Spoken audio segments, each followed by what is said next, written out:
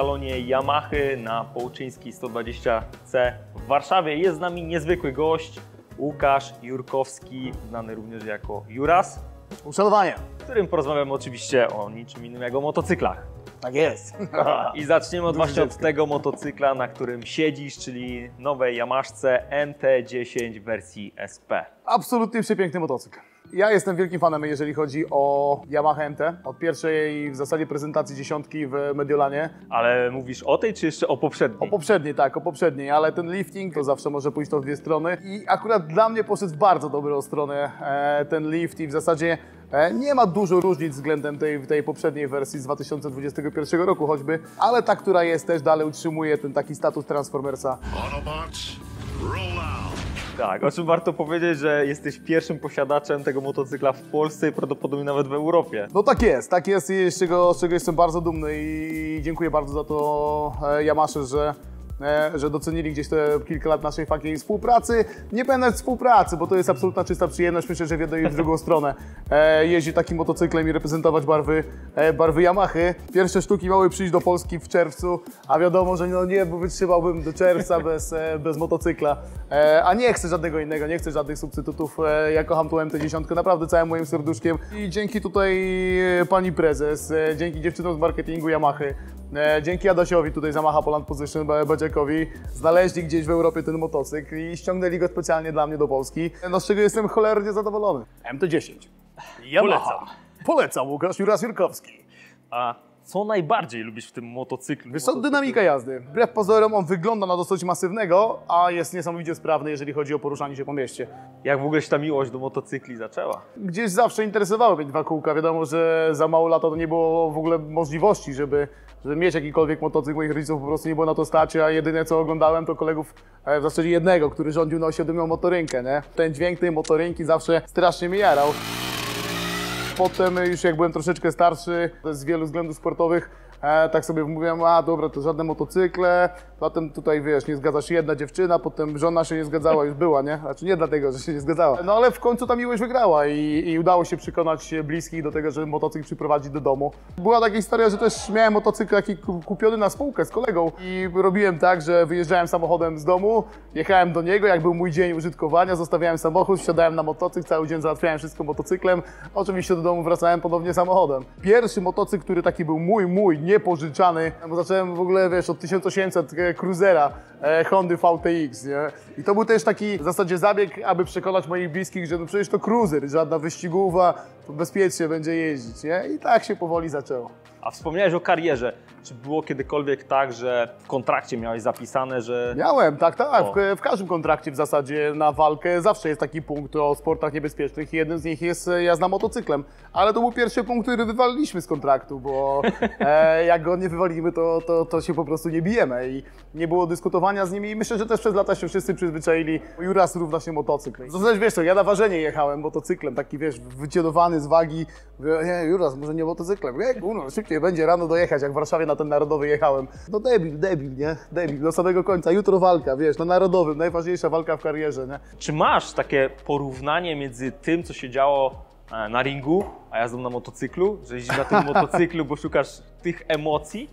Ja myślę, że w dużej mierze tak. W momencie, kiedy zakończyłem karierę e, sportową kilka lat temu, wiadomo, że się wznowiła przez ten narodowy i tak dalej, e, ale było tak, że szukałem sobie jakiegoś substytutu adrenaliny i bez wątpienia motocykl dawał, e, dawał tą adrenalinę największą ze wszystkiego. To jest dla mnie tak naturalne, że motocykl jest w garażu i w sezonie po prostu poruszam się w większości motocyklem. Wiesz, jak pada deszcz jakiś taki większy, no to z racji niektórych obowiązków jadę do studia, no nie będę przebierał się, nie będę pakował, nie wiadomo rzeczy ile, więc wybieram wtedy samochód. Też przyznaję się, że z wiekiem zacząłem wyrastać e, z sytuacji, kiedy wiesz, były dwa stopnie, padał śnieg, a ja mówię, dobra, to to jest ten moment, kiedy jadę odstawić na zimowanie motocykl. E, To teraz trochę człowiek z wiekiem staje wygodniejszy, jak tak koło 5-6 stopni się robi, już paluszki marzną, mówię, a dobra, to już samochód bardziej. E, Niestety przez dwa lata nie zrobiłem żadnej długiej, dłuższej trasy, e, niż gdzieś ruszyć sobie tak na chwilę na Mazury, wiesz, czy, czy, czy nad morze. W tym sezonie nadrabiam i, i jadę w ogóle na grubo i e, zobaczymy, czy się uda. Właśnie, co to znaczy dla Ciebie dłuższa trasa? No To jest za granicę pojechać, za granicę po prostu pojechać, nie?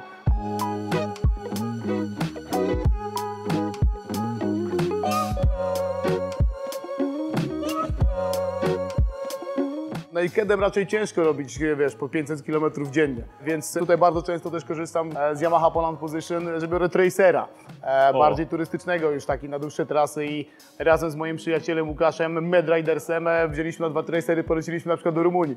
Zrobiliśmy trasę w zasadzie 3700 km w no, 6 dni. Mieliśmy 5, ale nas na zatrzymało. No, nazwaliśmy to motorzeźnia, no bo jechaliśmy po 400 km dziennie to najmniej, ale chcieliśmy koniecznie zobaczyć zamek Drakuli i Morze Czarne. E, Oczywiście zaliczając wszystkie te trasy alpiny, tam polecam. No Rumunia jest piękna na motocykli. Kto nie był w Rumunii motocyklem, musi tam pojechać. Zastanawiałeś się, czy może jednak nie wybrać tego Tracera, bo, bo jest wygodniejszy? Nie, nie, nie, nie, nie. Ja w ogóle wygodę na motocyklu traktuję absolutnie drugoplanowo i to nie jest motocykl stworzony do długich tras, aczkolwiek zdarza mi się robić i zdarzało mi się robić e, trasy nawet po 500 km dziennie e, MT-10. E, I spokojnie, no co, no to dupa boli, bo ma boleć, no. Na każdym motocyklu będzie boleć, czy to będzie Tracer, czy, e, czy Honda Goldwing. Może Honda Goldwing nie, ale, e, ale, ale będzie boleć. E, To jest taki motocykl, który wpisuje się idealnie w filozofię linii całej MT, o czym rozmawiałem ze szefem Yamaha tutaj na Europę, że ten motocykl kochasz albo go nienawidzisz. Nie ma, Tak, nie, nie ma pośrednich. Albo on jest ładny dla kogoś i jest zajebisty, albo nie. I wtedy jeździłem MT-9, którą kupiłem e, sobie sam. W zasadzie jeden sezon jeździłem, bo potem e, pojechałem właśnie na spotkanie do, do pani prezes tutaj e, w Warszawie i czy, czy zostanę ambasadorem. I Właśnie, to skąd się w ogóle Yamaha u Ciebie wzięła? i Jesteśmy na salonie w Połczyńskiej, e, którego szefem jest Adam Baciak, mój przyjaciel, z którym znamy się wiele, wiele lat. E, Zresztą byliśmy też na takim małym mototripie Riders East Tour. Wiedzieliśmy kluby, wiesz, byłego Związku Radzieckiego, Litwa, Łotwa, Estonia, Rosja, Ukraina. Ja wtedy bardziej jechałem Hammerem, bo jeszcze nie miałem prawa jazdy oficjalnie. E, Więc, e, więc gdzieś, e, gdzieś zawsze było tutaj blisko do tego salonu przychodzić, pooglądać te motocykle i zawsze gdzieś po prostu ta firma Yamaha była blisko mnie. Wspomniałeś o prawku. Ile jeździłem bez? Nie, nie, nie, właśnie, właśnie nie, tak o to nie pytałem, to mnie nie interesuje. Nie, zawsze Pytanie, jazdy. za którym razem zdałeś kategorię A? Za pierwszy. Za pierwszym. Za pierwszym, za pierwszym. Ja nie wiem, czy ja bym teraz dał według nowych kryteriów prawo jazdy, bo człowiek ma dużo złych przyzwyczajeń z jazdy takiej codziennej O. motocyklem i samochodem, a jednak wymagania egzaminacyjne są trochę inne. Wiemy, że twoja dziewczyna, Paulina, też jeździ na motocyklu. To jest na Yamaha. Też tak, to wiemy, R3. R3, tak jest. Jeździcie razem motocyklami? Poznaliśmy się na motocyklach, e, na takich wspólnych przelotach naszych znajomych. I między innymi właśnie była Paulina i tak się poznaliśmy na tych motocyklach. E, jeździliśmy parę razy, ale, ale już nie jeździmy razem i nie chcę jeździć z nią razem, bo ja jeżdżę i patrzę cały czas w lusterka, wiesz, to też nie jest dobre i bezpieczne dla mnie. Poza tym też dynamika mojej jazdy, a jej jest trochę inna jednak z racji też umiejętności, doświadczenia motocykla. i motocykli, więc nie ma sensu się męczyć wzajemnie. Niech ona spokojnie się edukuje na, na tej R3. Ale coś, co byś chciał zobaczyć w swoim garażu, niezależnie czy by to tam miało stać, ale czy byś chciał tym jeździć, nie wiem, motocykl, którego To szukasz. jest świetne pytanie, bo ja mam takiego i mam łydkę taką motocyklową wytatuowaną i tam jest tyłu silnik od VMAXa. Także Yamaha VMAX to jest motocykl, który chcę mieć w garażu i będę go miał. W zeszłym roku byłem nawet blisko, a był jeden wstawiony tutaj w komis do salonu, ale właściciel nie chciał zejść w ogóle nawet złotówki z tej ceny, a była za duża, mimo, mimo że ten motocykl będzie niestety już tylko chyba droższy z racji tego, że już nie produkują, nie, ma znaczenia. Prędzej czy później będzie u mnie w garażu. Miałem okazję pojeździć trochę tym VMAXem i o nie skręcać ten motocykl, wiesz, nie nadawać się do jazdy do miasta i tak dalej, być dosyć toporny, e, ale sam wygląd jest tak kosmiczny, że, że ja go kupuję 100%. No jak widać po MT-10, wiesz, ja kocham takie dziwne kształty. Plany na ten rok motocyklowe. No właśnie, no i tu dochodzimy. e, na pewno jeździ zdecydowanie więcej, bo przyznaję, że z racji też obowiązków i jakichś tam życiowych e, różnych tematów e, zazwyczaj kręciłem kilka tysięcy kilometrów, e, gdzieś w granicach 7-8 tysięcy, a poprzednie sezony no, były żenujące, że nawet nie powiem cyfr. E, także nowe motocykle sprzedawali tutaj potem po mnie. e, a w tym chcę zdecydowanie odrobić zdecydowanie więcej też czasu poświęcić na to, aby e, fundować sobie takie przejażdżki, wiesz. Tylko czekam na taką stabilniejszą pogodę, że po prostu obudzę się, nie wiem, 6 rano i stwierdzę, zjadłbym rybę nad morzem, nie? Wsiądę na motocykl i po prostu pojadę, zjem rybę i wrócę do domu. Na pewno jednym z celów jest, e, bo też muszę sobie odświeżyć e, pamięć na pewno do Oświęcimia pojechać, do Auschwitz. Myślę, że każdy powinien raz na jakiś czas pojechać tam i przypomnieć sobie jednak, wiesz, historię tego, co się działo, żeby też inaczej spojrzeć trochę na swoje życie, nie? A z takich tripów e, miłych, przyjaznych, które chcę zrobić, jestem blisko tego, aby to zrealizować. E, Mam nadzieję, że się w sierpniu uda. To do San Sebastian w Hiszpanii ruszyć. O. Jadę tam jeść. Zjem i wracam. I to są naprawdę ambitne plany motocyklowe. I... Ale to już, to już niestety nie, nie MT-10, no. ale pewno Tracerem. W 2017 roku miałeś nieprzyjemne zdarzenie. No, no E, miałem. Czy po tym zdarzeniu, po tym wypadku zmieniłeś twoje podejście do jazdy na motocyklu? Się w jakiś sposób zmieniło? Jak tylko zaczęły mi funkcjonować ręce po wypadku, bo zatrzymałem się na ciężarówce, nie z mojej winy, żeby nie było wątpliwości, tylko, tylko pijak za kierownicą, jak tylko zaczęły mi działać z powrotem ręce, to pierwsze co zrobiłem, przyjechałem, wziąłem motocykl i wyjechałem z powrotem i przyznaję, że takie pierwsze 5 minut to było takiej, wiesz, niepewności, ale wyjechałem na prostą, mówię, nie, no bez jaj, nie? Ogień, rura, gaz i w zasadzie tyle było z traumy. Zdarzyło się leżeć parę razy, e, raz z mojej winy, dwa razy nie z mojej winy leżeć, tak awaryjnie bardziej, ale za każdym razem człowiek wstaje, podnosi motocykl i jedzie dalej. A jeśli chodzi o sporty związane z motocyklami, czy to torowanie, e, czy właśnie jazda jakąś enduro, czy cross, zastanawiałeś się nad tym? Co miałem okazję kilkukrotnie już być na torach e, i zresztą MT-10 latać po torze. E, zajebiście się sprawuje na torze, to naprawdę też byłem pod wrażeniem. Nie to, że ja mam jakieś, nie było jakieś doświadczenie torowe, ale z pod edukacją mistrza Adama Badziaka zawsze uczył mnie, jak się pokonuje zakręty i tak dalej. I uważam, że każdy motocyklista powinien jechać na tor. A ludzie się boją toru, nie wiadomo dlaczego się boją toru. Nie wiem, czego boją się wyjechać, pokazać, że nie potrafią jeździć. Właśnie No. po to się jeździ, żeby się nauczyć jeździć. Nikt nie wymaga, żeby każdy był tutaj, wiesz, Valentino Rossi, siada, wiesz, pierwszy raz na torze. Ja jak siadłem pierwszy raz na torze, to mijali mnie wszyscy. Czy czułem wstyd? Czułem. Ale przyjechałem drugi raz i już byłem w środku stawki, nie? Przyjechałem trzeci raz, już w mojej grupie byłem, wiesz, bardziej, bardziej z przodu, mimo że gabaryt e, bardzo mocno dociąża ten e, motocykl. A w tym roku jeszcze mamy plany na czerwiec już razem z Yamahą. Będę reprezentował barwy Yamahy. E, nie wiem, czy mogę o tym mówić, ale, ale pobawi mi się w enduro. O, czyli teren. tak, tak, tak. Ale masz takie- Miałem okazję już próbować, e, czy crossa, czy enduro i zajebista zajaweczka, fajnie, mi się bardzo podoba. Jeszcze się okaże, że potem MT-10 zmienisz na Tenerę. Nie, nie, to jest MT-10 i Tenere. Albo można i tak, jak jest miejsce w garażu. To jak najbardziej. Nie wiesz, jakby tylko czas był jeszcze przy wszystkich obowiązkach, żeby z tego korzystać, ale, e, ale powiedziałem, że robię to, że enduro robię, niedługo zaczynam treningi. Jak kiedyś twoja miłość do Yamahy, albo będzie miejsce na kolejny motocykl w garażu, to zastanawiałeś się jeszcze nad jakąś marką? Na tę chwilę naprawdę nie. No. Nie, nie mówię tego przez pryzmat e, mojego ambasadorstwa w Yamasze i związania z firmą, e, ale czy są takie motocykle, którymi się, którymi chciałbym jeździć? No, no to V-Max, ale to też Yamaha, nie?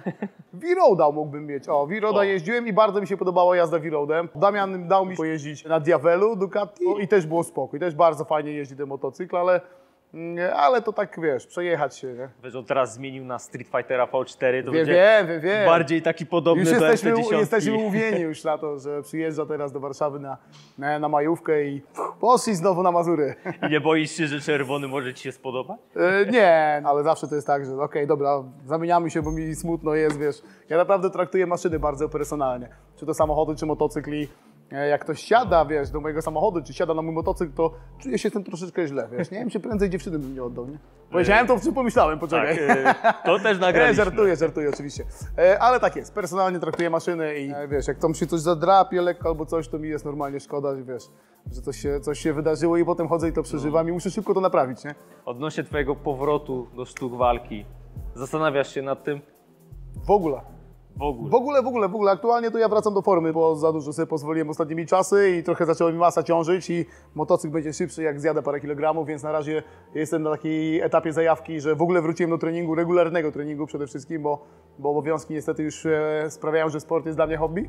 Jak będę miał okazję, czas, możliwości przygotować się, jak będą dobre warunki do tego, żeby to zrobić, to, to pewno z chęcią oczywiście zawsze wyjdę jeszcze raz do klatki. Czy zauważyłeś taką zależność pomiędzy tym, że jak trenowałeś normalnie, na co dzień, standardowo, to inaczej ci się jeździło na motocyklu niż jak trochę te treningi odpuściłeś? Czy przełożyło się to na jazdę na motocyklu?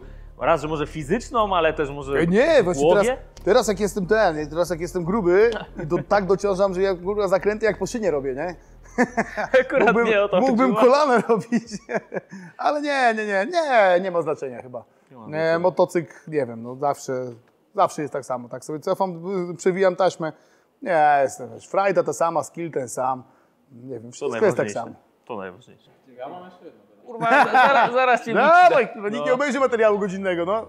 Wiem, że na pewno gdzieś tam jest R8. Czy Tak, tak. pojawiło się coś jeszcze innego? Udało mi się zrealizować Camaro, które hodowałem w zasadzie 8 lat. E, I, I to Camaro jest i kocham ten samochodzik, a jeżeli kiedykolwiek będę chciał powiększać garaż, nie tak, że sprzedał Camaro, wiesz, tylko powiększać garaż, e, to Audi R8 to jest taki samochód, k- który miałem okazję e, troszeczkę dłużej polatać nawet i, i po prostu kocham jak on wygląda, jak on brzmi. E, I Nissan GTR. Dwa samochody, które, które chcę takie, wiesz, Dobra, dzięki, dzięki bardzo za rozmowę. Dziękuję bardzo. Miło było porozmawiać. Faktycznie widać, że kochasz tą Yamahę. a to prawda. Roll